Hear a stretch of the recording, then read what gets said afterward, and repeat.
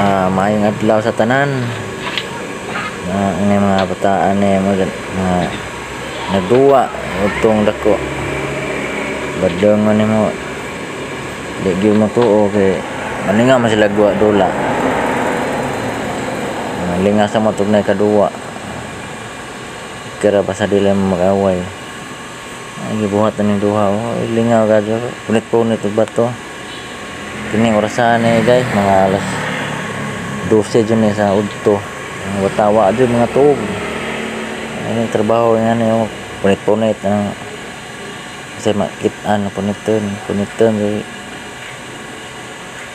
ayun siya makitaan. Puniton. Kaya nagipamunit na na mga bato na. Ay, tapok. Ano, Punitan yung duha. Ah, mga bato. Wala dyan mga tuog, di dyan manubo yung mga bataan eh. Kahit tumag to. Ya karon magkuha na pa tag kahoy, magpoto tag kahoy, kaya maghaling, kaya magluto na po sudan. Mag-prepare na po paniud to. Magaba sa tag kahoy, una kay way sugnod. Ayaw na kay gaay niya, may kusog siga. Sugnod. Suga na din yung siga guys. Gaay na gaay.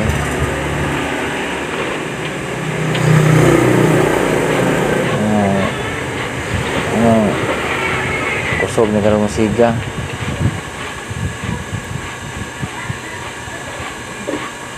Tipid tag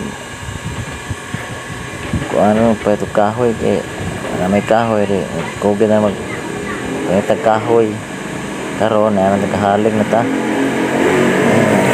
Haling karon kay isda. Tutuhonon isdang tilapia. Na dapat sinugba. Sugba tag manok.